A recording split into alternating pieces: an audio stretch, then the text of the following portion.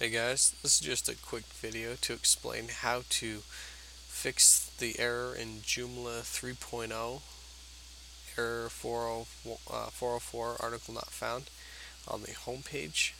So this usually happens after a fresh installation of Joomla 3.0 and from what I've been reading most people are having the problem um, after the site has been working just fine after installation.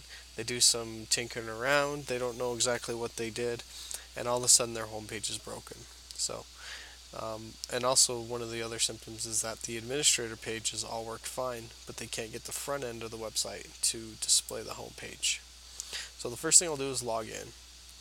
And there's a couple of different suggestions that people offer to to try to get the front end to work. And just just so I can show you, um, this is the error that you're getting um, that this home button just will not display your home page it's broken um, and uh, another symptom of the problem is that if you create a link to somewhere else um, then the web page will, will load properly but it just won't load your your home page, your startup page.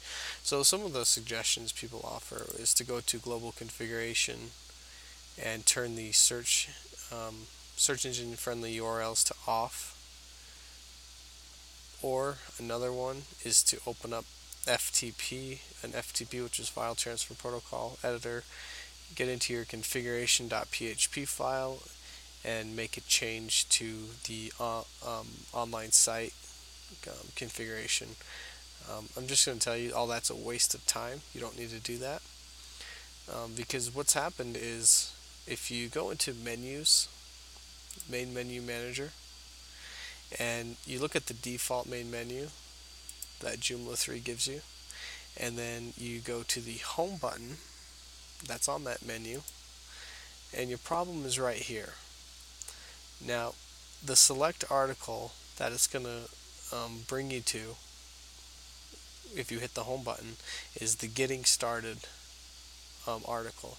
And what most people are doing, and I'll just show you real quick, is if you go into Content Article Manager, they've they've gotten rid of the getting started article. Because if you go to the trashed items over here most people get rid of this getting started article right away.